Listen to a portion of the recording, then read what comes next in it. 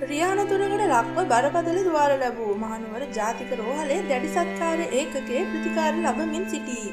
පේරාදෙනිය විශ්වවිද්‍යාලයේ දන්ත වෛද්‍ය පීටේ තෙවන වසරේ සිසුවියක් පෙරේදා රාත්‍රයේ මියගොස් ඇත. පසුගිය පළවන දින විශ්වවිද්‍යාලයේ හින්ඩා ඔබේසේකර නේවාසිකාගාරය ඉදිරිපිටදී. සචිනි ගලප්පත්ති නම් විසිතුන් හැවරිදි සිසුවයක්. ඇය තංගල්ල ප්‍රදේශයේ පදිංචි කාරියක බව පෙරාදනය විශ්වවිද්‍යාලයේ නියෝජ්‍ය උපකුලපති මහාචාර්ය ටෙරන්ස් මදුජිත් පහතා පැවසීය. මියගිය සිසුවිය සමග ගමන් ගනිමින් සිටි තවත් සිසුවියන් දෙදෙනෙකුද අනතුරින් තුවාල ලැබූ අතර ඔවුන් මේ වන විට සුවය ලබා රෝහලින් පිටව ගොස් ඇත. මෙම සිසුවියන් තිදෙනා දෙන කටයුතු නිමා කර හිල්ඩා ඔබේසේකර නේවාසිකාගාරය වෙත යමින් සිටියදී මෝටර් රථයේ ගැටී තිබෙන බව පොලිස් පරීක්ෂණ මගින් අනාවරණය වී තිබේ. අනතුරට හේතුව රියදුරට නින්ද යාම බව පොලිසිය සැක කරයි. මෝටර් රථය මාර්ගයේ අනෙක් පසට ධාවනය වී සිසුවියන් තිදෙනාද යට කරගෙන ගොස් යතුරු පැදියක ගැටී නතර වී තිබුණු බව පොලිසිය පවසයි.